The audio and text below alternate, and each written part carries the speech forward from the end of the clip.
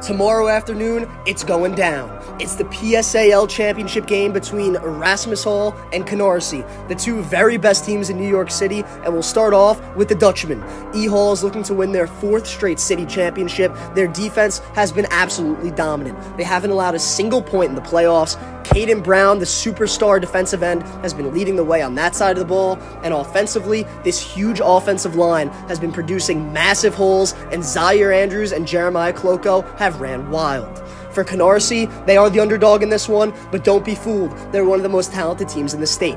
Chris Howell has been spreading the wealth to Nakai Brown, Gene Lewis, Nick Jordan. This offense is absolutely loaded. But the key in this one is the trenches. If Canarsie wants to beat E Hall, they're going to have to survive up front. Those Dutchmen are big on both sides of the football, and Canarsie will need to give Howell time as well as their best efforts to stop the run game. Everyone, enjoy tomorrow. For Uzi Sports, I'm Jared Veluzzi. Always compete.